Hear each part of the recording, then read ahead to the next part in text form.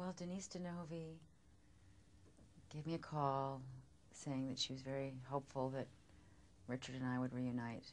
At that point in time, I will be coming off of four months straight of work at that point, and I'd have to clear it with my family and figure out our summer. And she's a working mom; she gets it.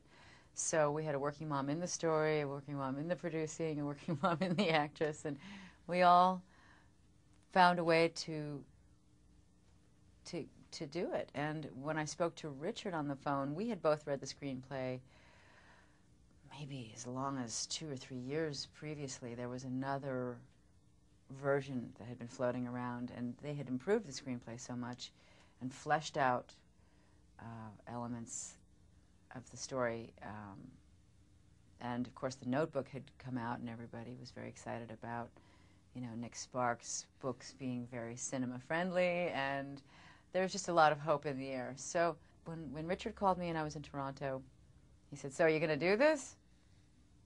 And I knew when he asked me like that that the answer was going to be yes. It's just a funny thing, and it was great.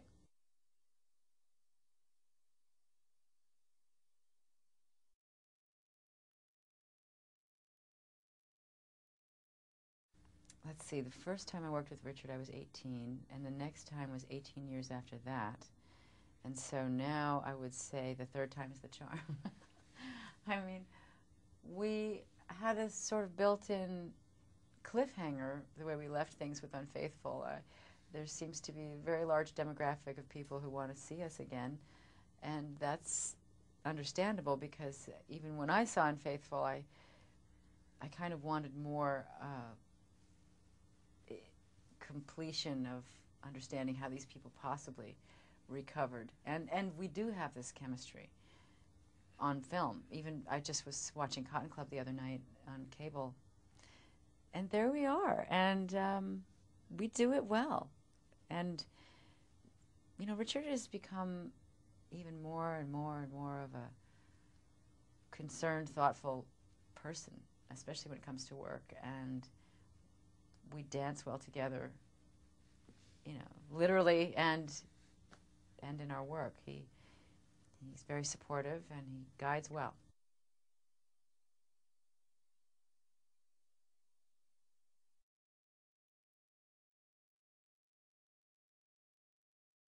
Adrienne is a woman who has just had her husband asked to come back into their family after basically dumping her for another woman. And I'm sorry, but I find it very hard to know how I would personally deal with that one, uh, especially if the children are being kind of manipulated into taking sides, and suddenly Adrienne is the bad guy for saying, you know, I just need a moment to consider what this means to me to act as though that didn't happen and we can all be a happy family again after such a betrayal of trust. So we meet her and she needs that time to think about this offer. And, um, and she meets Richard.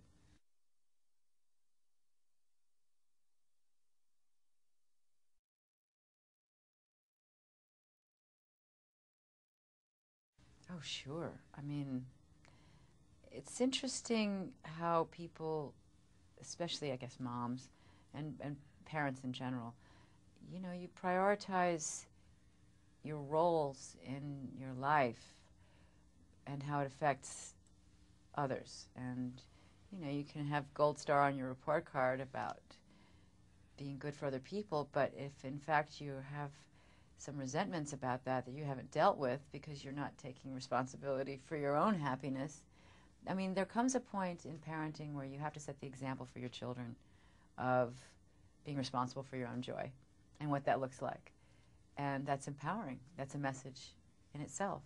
So that is part of her evolution.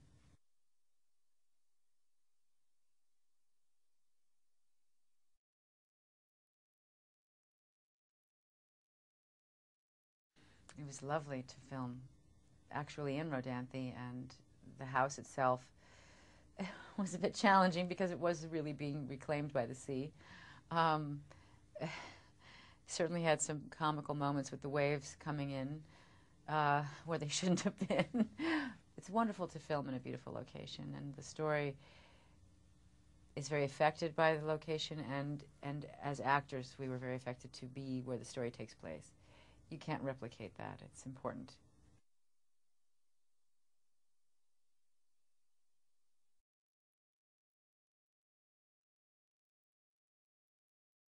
I have a healthy respect for storms. We had just had one prior to filming uh, in that location, and it did damage the set. It took away the stairs, it took away all the sand of the beach. Uh, they needed to spend some time and money reconstructing so that we could film there.